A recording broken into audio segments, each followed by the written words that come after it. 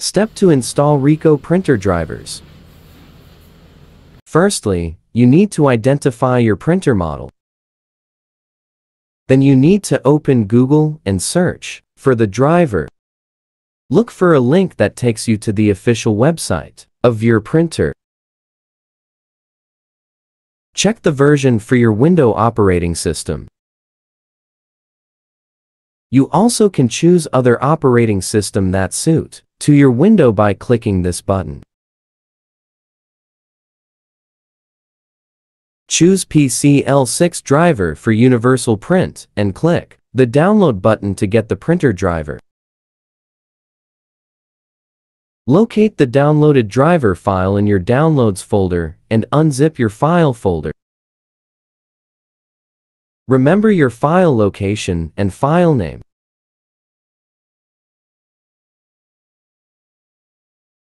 Next you need to open Control Panel and choose Hardware and Sounds. Click Devices and Printer to add your printer into your PC or laptop.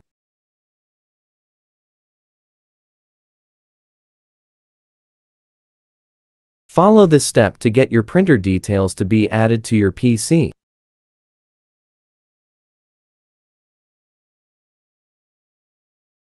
Carefully type in the IP address of your Ricoh printer into the provided field.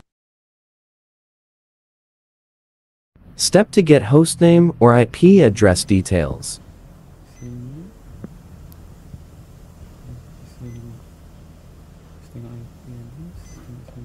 This is your printer IP address.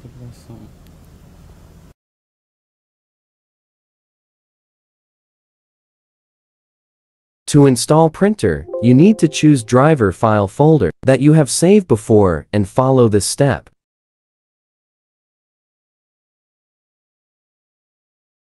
Remember to navigate to the location where you saved the printer driver file during the earlier steps.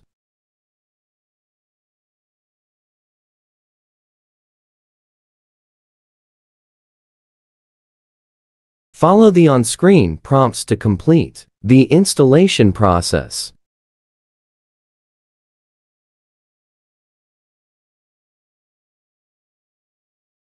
Rename your printer name and the installation printing will be begin.